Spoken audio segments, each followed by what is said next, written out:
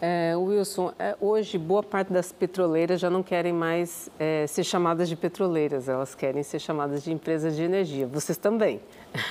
Não querem. É, nós não somos petroleiros. É, mas vocês querem agora ser chamados de empresa de energia, né? Não só distribuidora.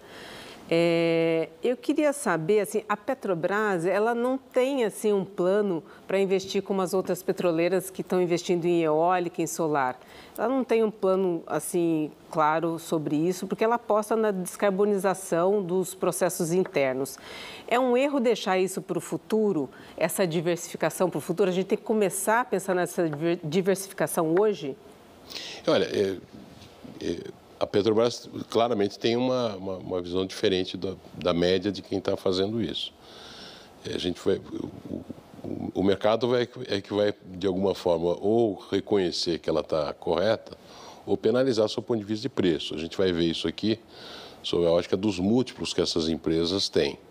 É, hoje, se você for pegar nos, nos, últimos IPOs que fizeram, tem uma empresa chamada Nest, que é uma empresa que finlandesa, que foi quem começou a fazer essa, eh, na, na, área de combustível essas transformações, inclusive em cima do, do diesel verde.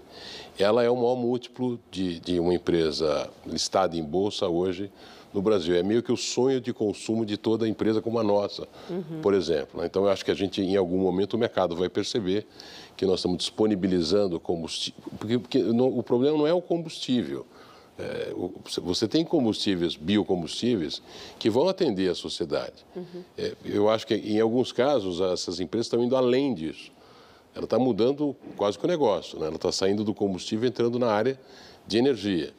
A Vibra, como uma distribuidora, ela, o, que ela, o compromisso dela não é de ser uma produtora, é de ser alguém que disponibiliza, que origina esse combustível, que usa a sua logística, a coisa mais forte dessa companhia é a logística. Eu não sei se vocês têm ideia disso, vale a pena colocar, é, porque a gente fala assim, tem, você tem 13 refinarias no Brasil, é o único lugar que você, se você não tivesse posto de gasolina, era lá que você tinha que pegar. Ia dar um trabalho danado, né, para você ir abastecer seu carro em 13 lugares no Brasil inteiro. Quando você tem a distribuidora, você consegue hoje levar a 40 mil esquinas, que eu chamo, 8.200 delas da Vibra.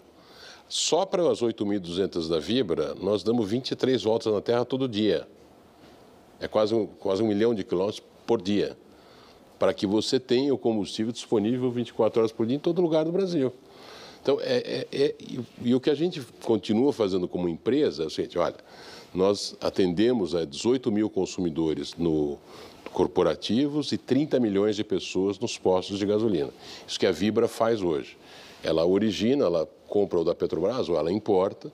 No, no, no, no biometano nós vamos estar comprando de um fornecedor, no, no diesel verde de um outro. Quer dizer, nós estamos originando o combustível.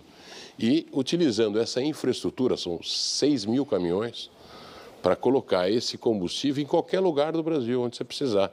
Essa que é a lógica dessa companhia, o que a gente chama de asset light. Nós não somos uma petroleira, nós não somos um produtor. Nós não, não, não nos habilitamos para comprar, por exemplo, uma refinaria.